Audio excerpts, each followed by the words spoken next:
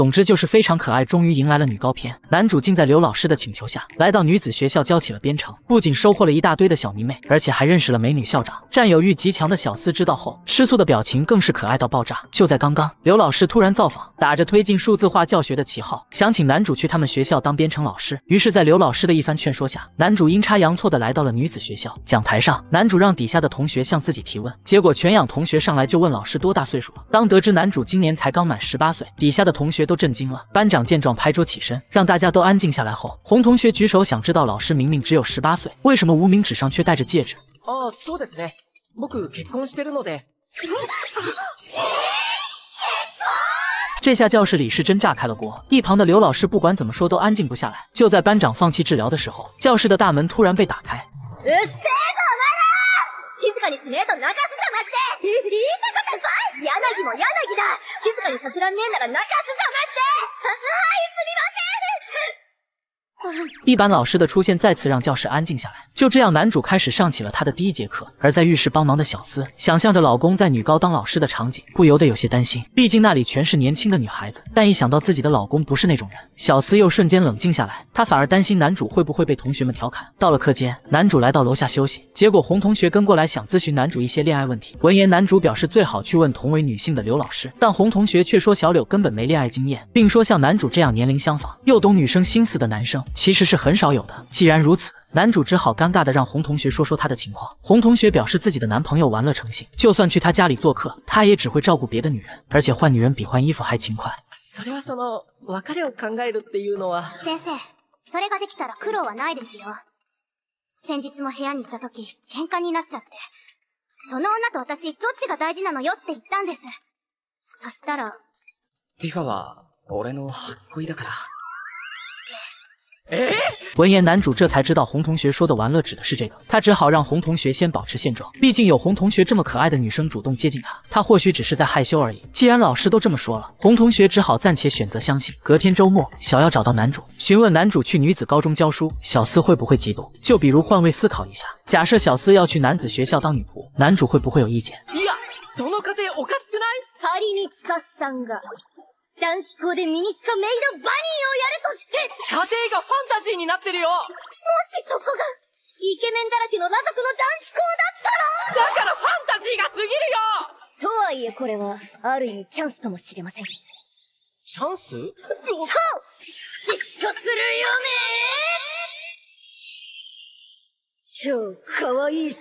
闻言，男主来了兴趣，不过他实在想象不出小四嫉妒的模样。于是到了晚上，两人手牵手在公园里散步。男主本想说些让小四嫉妒的话，但他又不想让小四太过担心，最后只好表示学校里没有可爱的女孩子。可男主的反常行为反而让小四起了疑心，认为自己的老公是被女高中生的魔力给迷住了。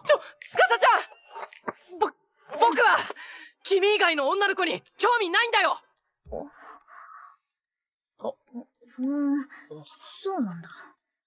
じゃあなんかそういう感じのやつ囁いて。え？そういう感じのやつ？あ、うん。わかった。じゃあ、あ、愛してるよ、つかさちゃん。からの？からの？えっと、じゃあ、可愛いよ、つかさちゃん。それから？つかさちゃん大好き。だから？つかさちゃんだけが僕のお姫様だよ。うん。もうそこまで言うならとりあえず家帰ろっか第二天来到学校，男主自己写了个系统，总结了一下学生对于编程的认知程度，结果成绩只能用惨不忍睹来形容。一旁的校长听后也是头疼，不过听到这个系统可以对学生掌握的知识进行可视化分析，并且还能用在别的学科，校长瞬间来了精神。于是他把刘老师叫到一旁，何あの子天才じゃんただの野生の天才じゃん 彼に手伝ってもらえれば我が子は都内一いえ日本一の女子校になります。いやでもゆざきくんはただのボランティアで何言ってるんですか柳先生？えゆざき先生は我が校の特任教師じゃないですかええ特任教師就这样，男主莫名其妙的成为了特聘教师。不过在回去的路上，一间教室的黑板引起了他的注意。进来后才发现黑板上竟写满了前往月球的算式，但聪明的男主却发现了一点小问题。接着他便在黑板上补上了保证能回到地球的答案。而男主的所作所为刚好被辉夜看在了眼里。于是晚上回到家，男主正在和小司打情骂俏的时候，おーっとそこのお二人さんイチャつくのはそこまでにしてもらおうかしら 紅さん 湯崎先生にお姫様から伝言。伝言余計なお世話だばーか。尤其和小司真的是玩的越来越花了。为了哄老公开心，小司竟穿上了女高的校服，躲在阴暗的角落和男主玩起了接吻。こら、変なとこ触らないの 这天，小林突然找到前台工作的小司，表示男主可能已经被女高的学生迷了心窍。毕竟高中的女生都非常可爱，这一点是无法改变的。所以为了夺回男主的真心，就需要以眼还眼，以牙还牙。说着，小林不知从哪拿出了女高的校服，请求小司立马穿上，这样一来一定能把男主迷得神魂颠倒。然而小司却说他之前穿过校服，所以他觉得换上了也没有效果。但小林反驳，换装不论玩多少次都不会嫌多。于是，在他的一番软磨硬泡下，小司只好答应了小林的请求。与此同时，另一边，男主和小耀还在聊着学校里某位学生很厉害的事情。也就在这时，小林走了过来，提醒男主是不是该和老婆去购物了，并表示小司已经下班，现在就在屋子后面等着男主。闻言，男主也没怀疑，说了声谢谢，就向后面走去。余計なことしてないでしょうね。大丈夫。余計なことしかしてないわ。来到后面的男主刚想打招呼，可看到穿着校服的小司后，他害羞的简直快要爆炸。夸小司非常可爱的同时，询问老婆这样穿着去购物真的没关系吗？听此，小司表示肯定会害羞的要死。既然如此，男主提议就在这附近散散步。恥ずかしいと言ってるのになぜお散歩えせっかく可愛い格好してくれたし、写真くらいは撮りたいかなって。写真つ 妻のあられもない姿を写真に撮りたいとか旦那様どんだけド S なの见小司如此抗拒，男主赶忙解释不是老婆想的那样，随后邀请小司来屋子后面偷偷的拍。可在这么昏暗的地方拍照，小司觉得更可疑了。じゃあ、やめとく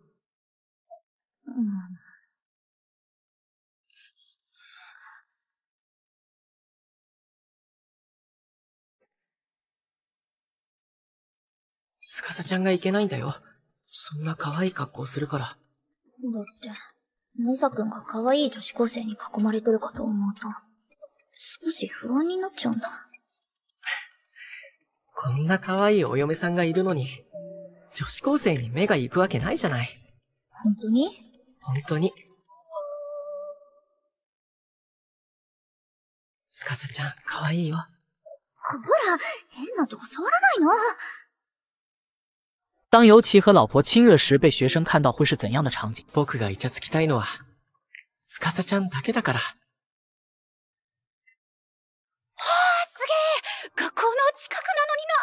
新婚ってどこでもイチャつけるのね。じゃ、じゃあ、旦那様、お仕事頑張ってね。頑張るじゃあもう頑張ってね。这天，男主和小司喝茶时，突然收到一条短信，打开一看，竟是白银同学发过来的“我喜欢你”。虽然对方立马就撤回了，但小司却不管这么多。お、ほら削除されたやっぱりただの間違いなんだってあ ちょっと待ってつかさちゃん。ほんとそういうのじゃないんだって。第二天来到学校，男主在走廊上遇到了白银，于是，在对方的请求下，两人来到教学楼后面。白银上来就解释自己昨天错发了消息，为此他非常抱歉。他想让男主教教自己怎么恋爱。原来大约在两个半月前，红同学的男朋友由于一直窝在家里打游戏，他找到白银一起去劝说，但不管怎么敲门，对方都不出来。也就在这个时候，那个男人出现了，他一脚踢开家门，将对方从里面拽了出来。随后二人直奔河边展开决斗，最后都精疲力尽，当场和解。自那之后，红同学的男朋友重新去上学了，而那个男人的帅气让白银银一见钟情。事后，白银和对方互加了好友，但那之后他们并没有联系，所以错发的消息也是白银摆弄手机时不小心发给男主的。听了白银的诉说，男主很懂他现在的心情，因为他也有好几年的时间一直在思念着小司，所以男主表示会支持白银的。既然如此，白银希望男主帮自己向那个男人告白。诶回到家后，男主将今天在学校发生的事情讲给老婆听，他希望小司帮自己出出主意，毕竟自己并不太懂表白之类的事情。その通り。いいこと旦那様。恋愛は常に頭脳戦。勝つか負けるかの勝負なの。そうなの？そうよ。だから、勝つために必要な要素は何？え、えーっと、情報を集める？その通り。だからまずは情報収集。相手を影から観察し、ウィークポイントを探し当てる。そうすれば、この恋愛、もはや勝ったも同然。だけどそれって、少しストーカー的じゃない？可愛い女子高生がやれば、それはストーカーではなくて純愛よ世の中の不条理まあ、わかったよ。じゃあ、そんな感じでアドバイスしてみるよ。ええ、ガーンと言ってやるといいわ就这样，男主将小司说的战略复述给了白银，于是白银决定放学后就去试一下。与此同时，另一边，银河路过大浴场时，听到小林和小司正在谈论着被人关注的事情，于是他提醒小林，吸引太多人关注可不会有好事，因为他最近总感觉有人在看着自己，这让他浑身不自在，觉得是有人想取他的性命。但小林却觉得是自我意识过剩导致的，他认为像银河这种糙汉子盯上了也没有任何好处。既然如此，银河让小林跟着自己去一趟外面，他要证明给小林看，确实有人跟踪自己。于是两人来到街上，可走了好长一段路都没有动静。银河觉得是因为有小林在旁边，所以对方有所警惕。他决定一个人待在又窄又暗的地方，引那个人出来。而银河走进去后，刚好被白银看见，看到这么好的表白机会，他随即鼓起勇气也跟了进去。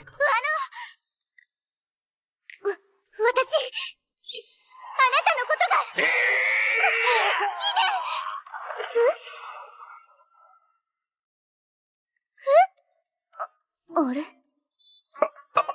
れ？なぜ、俺が分かった？ふん。そんなむき出しの殺気、気づかねえとでも思ったが。白银的表白，银河并没有听见。看到对方又要离开，他大声的将“喜欢你”喊了出来。听到突如其来的告白，不懂恋爱的银河说了声谢谢就离开了，这让白银直接蒙圈。到了第二天，男主照常去学校教课，感到寂寞的小司一想到老公被女高中生团团围住的场景，心里就很不是滋味。胡思乱想的她实在忍不住来到学校查看老公的情况，结果一下就被出来的男主发现。于是，在大庭广众之下，男主竟和小司亲热了起来。僕がイチャつきたいのは、つかさちゃんだけだから。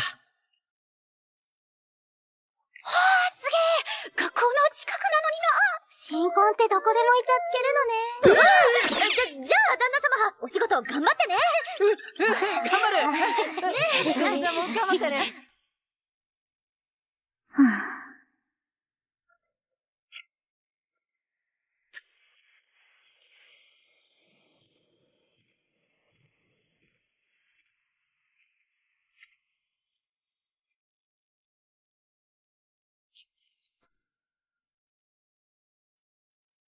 長い旅は終わったか。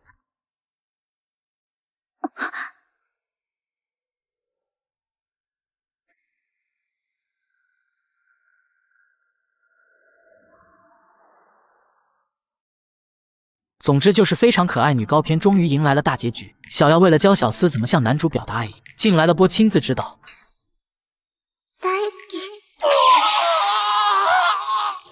な感じでストレートに言えばいいんすよ。い、いやいや、要、お前それはちょっと。考虑到过于直接，小司一定会很难为情，于是小妖又换了种方式。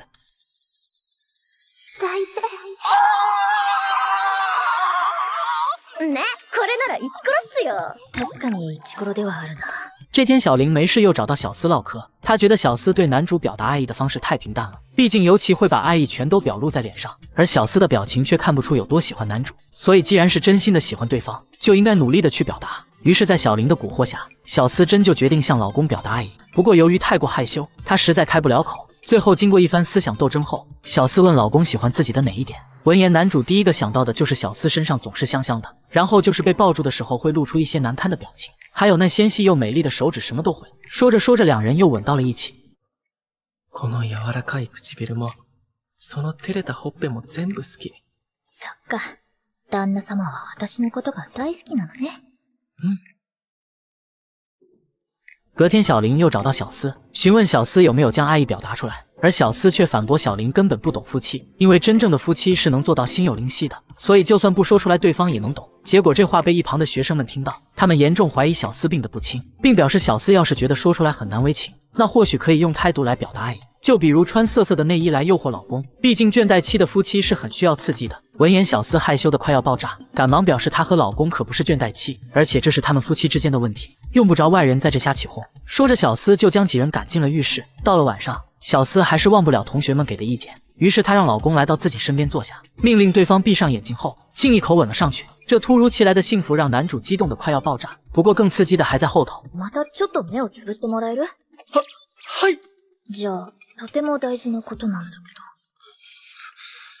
あなたのお嫁さんは今、いつもより可愛い下着を着ています。两人在原地呆愣了两秒半，最后小司啥也没说就躺进了被窝。而发生这样的事情，男主兴奋的根本睡不着，没懂意思的他还以为小司是想让他亲眼去看看。何を言ってるんだ、私 っていうかさっきのタイミングなら、普通に好きって言えたんじゃないのか 得知情况的小妖为了帮助小司，他竟请来了同班同学向小司做起了示范。大好き。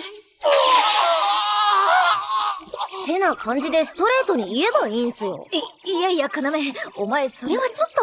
考虑到过于直接，小司一定会很难为情，于是小妖又换了种方式。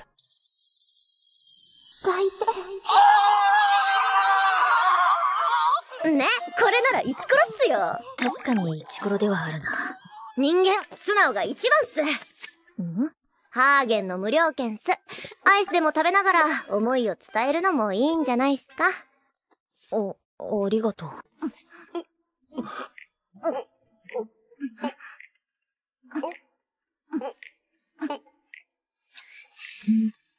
バカ。大好き。就在刚刚，小妖给了小司两张冰淇淋的免费券。于是到了晚上，两人来到便利店买了冰淇淋后，一起来到公园品尝了起来。司ちゃん、口にアイスついてるよ。え？だ、旦那様。唇がちょっと冷たくなってるかなって。もう、ちょっとこっち向きなさい、旦那様。え？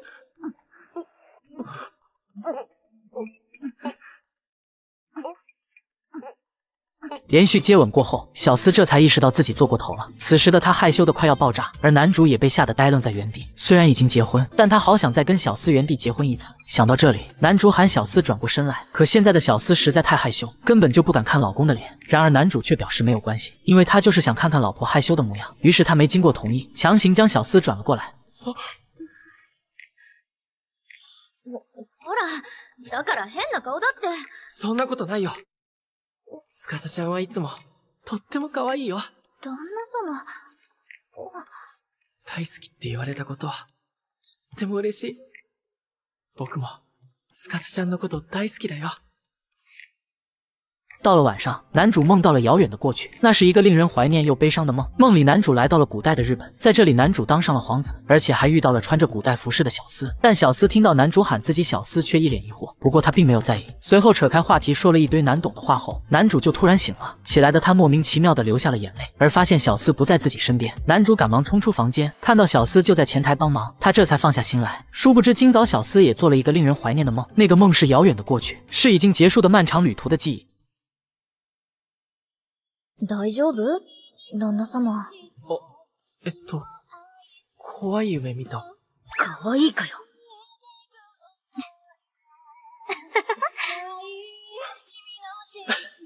お、うわちょ、まさくんこれは竹取物語の続き。月へと帰るかぐや姫を取り戻し、めでたく結婚できた。夫婦の物語である。